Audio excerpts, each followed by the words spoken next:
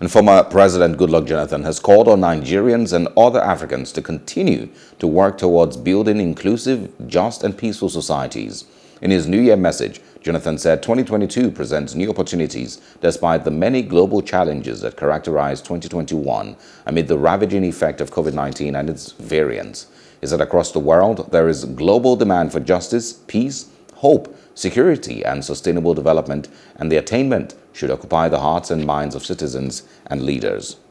Hello, hope you enjoyed the news. Please do subscribe to our YouTube channel and don't forget to hit the notification button so you get notified about fresh news updates.